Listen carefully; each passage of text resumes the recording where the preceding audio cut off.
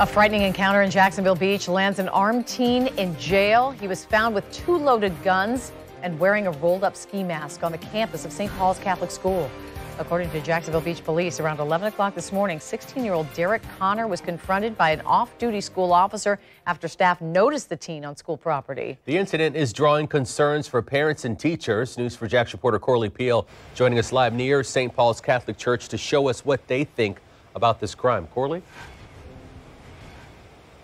Students and parents tell me it's frightening knowing the teen was on this campus with loaded weapons. The principal notified parents about the incident, but some felt the email that she sent out was vague and left out important details about the crime two loaded semi automatic handguns, and a cap that rolled out to be a ski mask or what police say was found on 16 year old Derek Connor after St. Paul's Catholic school staff noticed him carrying the weapons on school property Friday morning.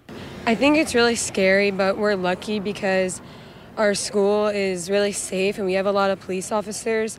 So they luckily got him if he was going to do anything bad. Jennifer Zender's niece attends the school. I think it's absolutely frightening frightening. It's, it's in our own backyard.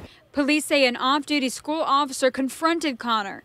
According to detectives, the teen gave the officer a series of fake names before they identified him. Investigators learned Connor is not a student at the school or from Jacksonville Beach. I hope to find out why he was here, kind of have a reason what he wanted to do. The principal sent this email to parents about the incident. The email doesn't include information about the weapons or the ski mask Connor had. Zinder feels those are important details that should have been included. I'm sure not only me, but all the other parents, they probably read the email and it's like, well, there's this big incident, but nothing behind it. So it kind of left us to our own imagination. The Diocese of St. Augustine spokesperson told me over the phone the principal didn't feel that she needed to release that information and felt it should come from the police department.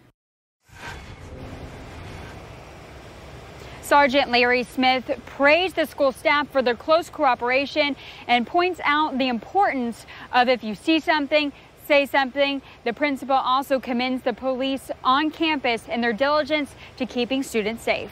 Reporting live from Jacksonville Beach, Corley Peel Channel 4, the local station.